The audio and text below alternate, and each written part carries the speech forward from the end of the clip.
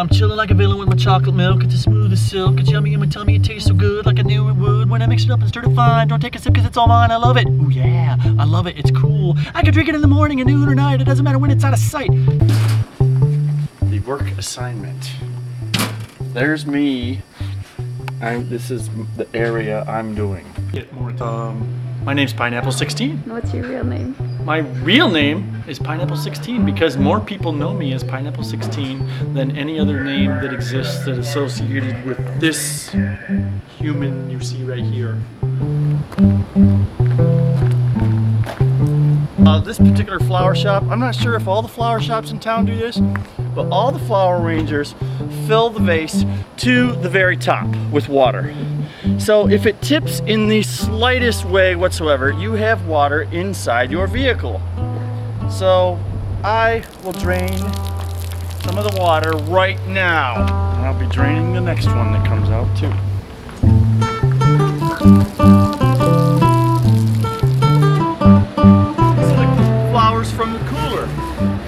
So being in trunk, they'll stay cooler. When you come in on the morning of Valentine's Day, or even two days before Valentine's Day, or three days before Mother's Day, or on Mother's Day, every shelf is jam-packed with arrangements, and there's flowers all over the floor area. Vases, arrangements, everywhere. There are flowers, and you walk in, and you, it's, it's kind of overwhelming. You're like, all this stuff has to be delivered today. It's kind of a rush sometimes. It's like, I, I actually like the overall adrenaline rush from the holiday flower deliveries.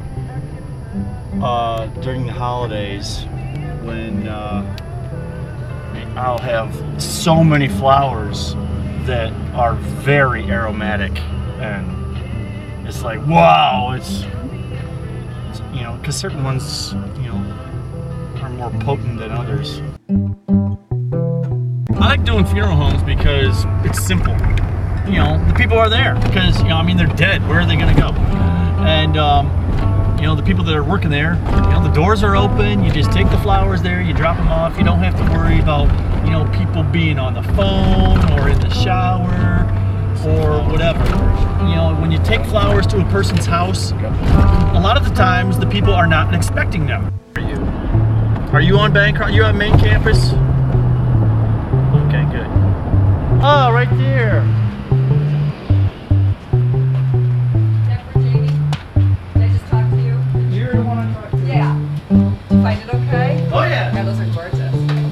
I was looking for a, a man. I didn't know you just had a Oh right, yeah, I'm one of the extra drivers. Are you uh, Nina? Yes. All right. There you go.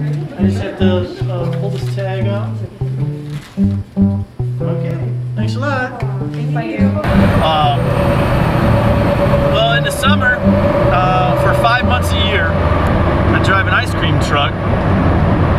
work for Mr. Frosty, and I'm a regular ice cream man, selling popsicles, Ninja Turtle popsicles. Of course, this year my uh, number one seller was the SpongeBob popsicle, and some of the kids they order SpongeBob and they don't even know what flavor it is. They don't care what flavor it is. I mean, he does live in a pineapple, so of course he is super cool. But I drive around and go all over Northwest Ohio, every, you know, all kinds of places. I get to go wherever I want. I was driving a lot, but I would go places that generally there were not a lot of ice cream trucks. So I like to go to these places where it's special that the ice cream truck shows up.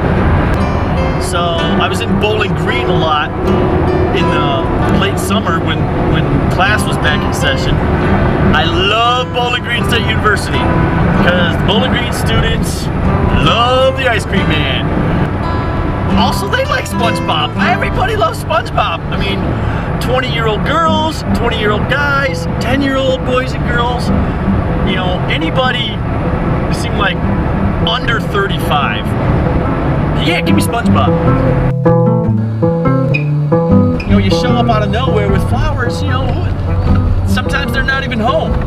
And so then you got to go to the neighbor's house and try to, you know, get the neighbor to take the flowers. And then, you know, they come to the door, they're all excited, they see some flowers. Oh, oh, flowers for me. Oh, I'm sorry, ma'am. You know, these are for your neighbor. Um, oh, no, I hate that neighbor. I'm not signing for those flowers. No, we don't get along.